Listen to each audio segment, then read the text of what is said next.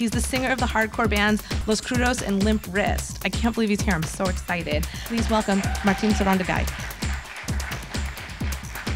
So this is a story I wrote called I Promise Not to Name Names. My blue shorts were twisted around my ankles, almost falling off my body, but my low-top gym shoes kept them from going anywhere.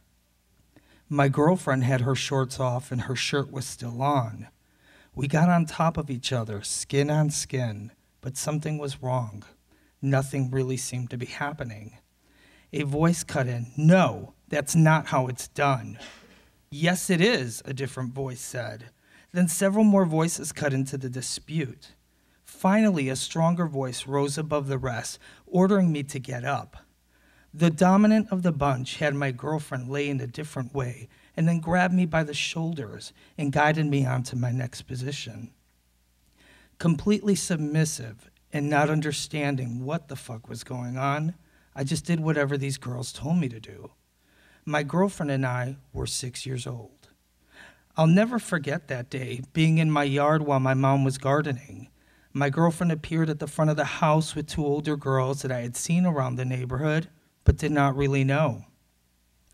These girls, about 9 to 11 years old, had come to me on a mission. I was summoned, so I went to see what they wanted. When I got close enough for them to talk to me, they said, Your girlfriend wants to have your baby. Do you want to have a baby with her? I said, Yeah.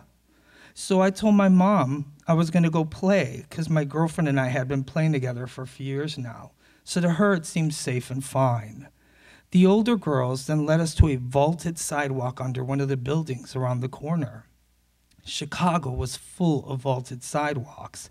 Back in the 70s, they became hideouts, hangouts, and party pads for so many of the young people. We all had heard of clubhouses that were completely hidden from any adult supervision, and that is where the sketchy shit would happen. And there I was, my studly six year old self, about to get my friend pregnant. I was ready, or well, that's what they made me believe. There in this dank room with a dirt floor under the city street, I stood there alongside the supposed mother to be, surrounded by 12 prepubescent girls. They were there to witness this special moment where I would father my first child. They ordered my girlfriend and I to drop our shorts, and we willingly did. They had us lie down and put us in all sorts of crazy positions, most that could never produce a child. But what did we know? What did they know? They argued and bickered, each one trying to seem like she knew more than the other. My little girlfriend and I lay there waiting for our next command. Then, out of nowhere, we hear something familiar a voice. Oh shit, it was her mother's voice, and it was getting near. Then, boom! Her mom crashes the door open to this filthy, dirt floored space and sees all these girls standing around, but her mom knows we are there. My girlfriend manages to get her little shorts on quickly. She stands there surrounded by all these young girls. She runs over to her mom. Mom then yells, Where is Martino? in her angry Italian accent. The girls, knowing they were in some shit, opened a path so that, I'm in, that I am in sight of my girlfriend's mom. There I was in this muggy dungeon of a space during a very hot and humid Chicago summer day. I was bent over trying to pick up those tight ass blue shorts with the white trim. The shorts had stuck to my legs and got all bunched up. The only way I could have possibly gotten them up correctly was to take them off and unravel the twine that they had become. I stopped when my girlfriend's mom screamed my name again Martino, come over here. Not knowing what the hell was really going on and now completely terrified, I stood up to look at her. I was naked, my little six year old body trembling. I hobbled over to her as I kept working at my shorts until I finally got them up.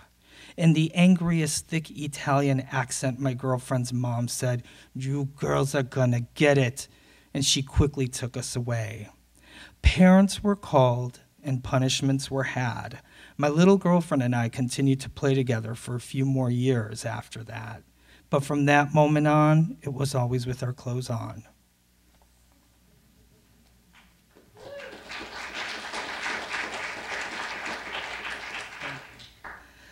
Okay, so this next story is about being on tour um, with one of my bands, Los Crudos, in the 90s. The story's called Click, Click, Click. Am I close enough to this? Can you guys hear it? Okay, cool.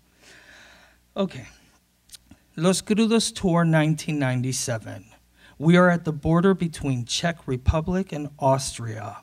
We are on a 90 show and 90 days tour of Europe during the winter in a big ass bus like van with no heat. Over two months in, we were fucking tired and cold. I stupidly embarked on that tour with only a pair of Converse. I immediately froze my ass off in the cold UK rain, starting the tour sick as a dog. We stayed in squats, abandoned buildings that had been occupied by people throughout Europe. Most had heat in only one room or no heat at all. In one of the Dutch squats, there was a free box of old clothes and various items. I found a pair of boots that were cool looking, almost like old worker boot meet combat boot. I grabbed them, after all, they were much better than my eternally wet gym shoes that, due to the endless cold rain, were never able to dry. The only setback to these boots were that they had a metal, a piece of metal at the bottom.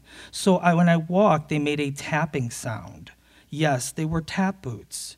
It was ridiculous, but fuck it. I needed warmth and comfort over style. After a while, I just ignored the tapping, but nobody else could. A weekend earlier, we had snuck our bassist in and out of Poland by hiding him in a compartment in the van.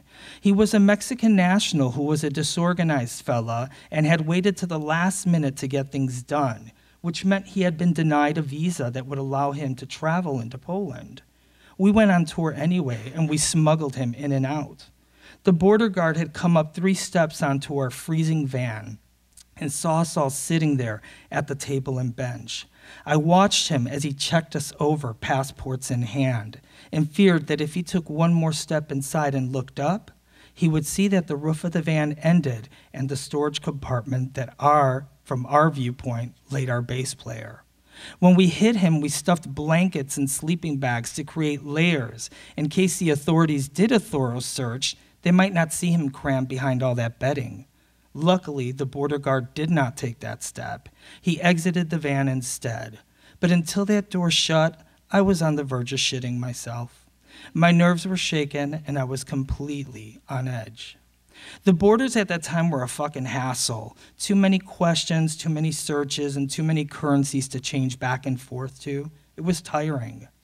On this very gray, cold winter day, 60 days into our exhausting tour, our driver pulled over about a block away from the border where we would exit the Czech and drive into Austria.